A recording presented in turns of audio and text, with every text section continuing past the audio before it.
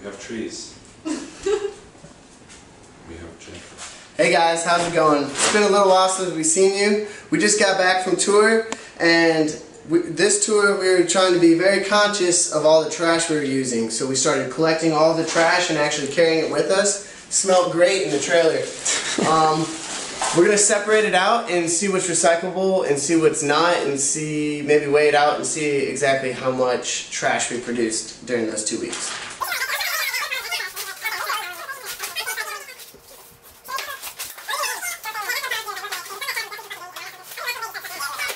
All this garbage is making me hungry. Is this all trash then? It looks like that's. So what? What do we got? What do we got? We got kombucha bottles. We this have is the what? The- This is the recycling pile. Okay, so reasonably better on recycling compared to just trash. This is compostable. This egg carton. I mean, this is still. When you think about it, so all these things here, Even though it's like Think so? I don't know. you can clean it off, but that's compostable. It'll work like this. Uh, so this is, you know, snacks, right? That we're looking at all the things, trying to understand why we got the stuff, drinks, and we were just basically saying that all of this comes from being unprepared and not proactive enough. And uh, you know, we got, I got, I think I got these these chewy granola bars, right? And each of these is wrapped in plastic.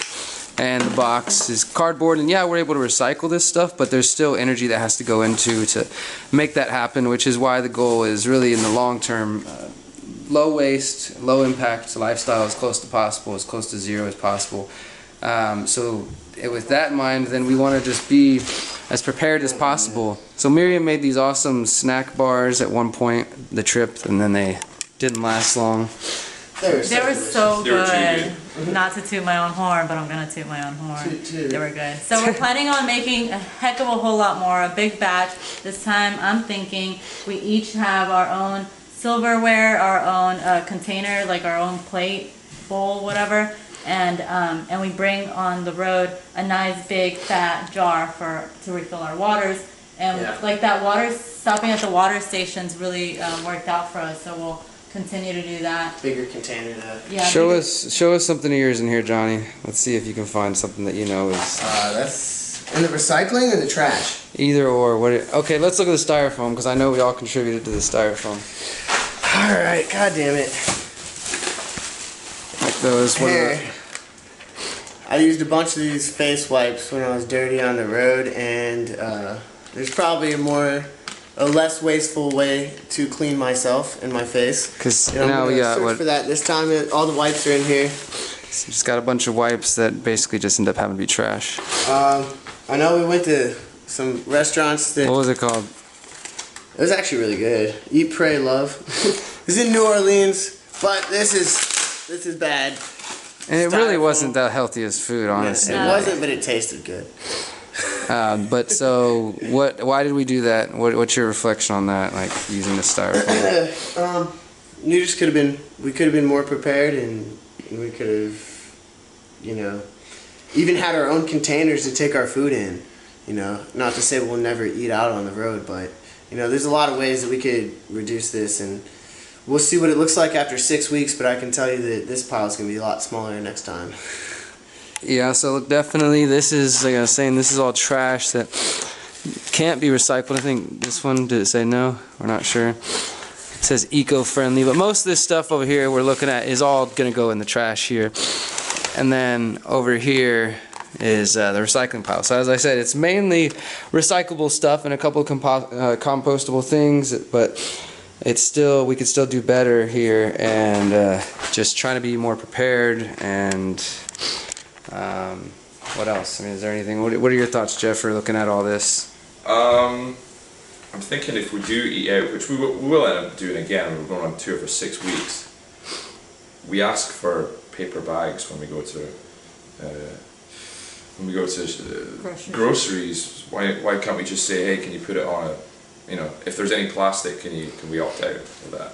Well, I will say to that that on the night we went to in Dallas and we went to the diner uh, at night with everybody. I specifically asked this lady a couple of different times, and this is just like this isn't Denny's. It was just like a local small little diner diner food, And I asked her like, "Hey, is there any way?" Because I got some French fries to go, and so I know one of these styrofoams is because I got those fucking French fries, and I felt so stupid about it later because I talked to her and told her like, "Hey, we're you know about the tour and everything," and I was just saying like, I don't really want to. If possible, can Found I? your French fries. Can you?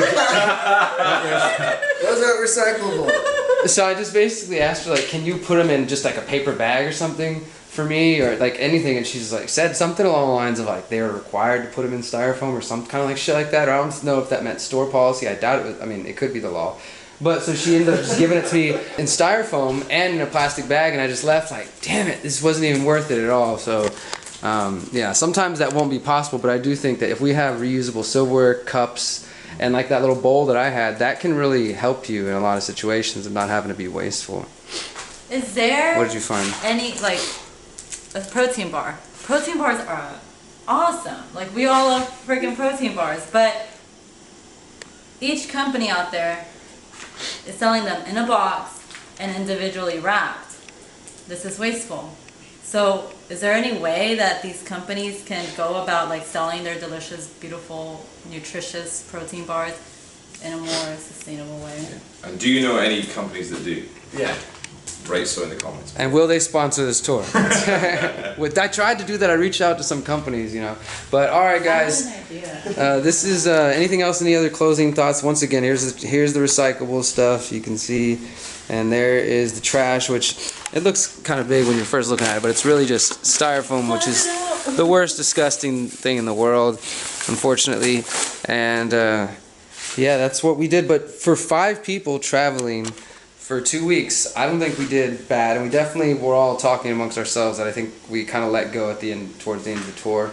Um, any closing thoughts on the tour and on our waste? It has been a beautiful experience, but we definitely have, uh, we will be preparing better. We'll compare this pile to the next pile after six weeks. Just want to say, Captain Planet's my hero. It's gonna take Alright. pollution down to zero. Love. right. Water. Fire, Heart. No, I I guess I'm heart now. Your heart. Captain, Captain Planet. Planet. All right, guys, we'll see you soon. Remember, we're going on tour July 10th, heading to the West Coast and Midwest. Check it out at theconsciousresistance.com slash tour. Peace.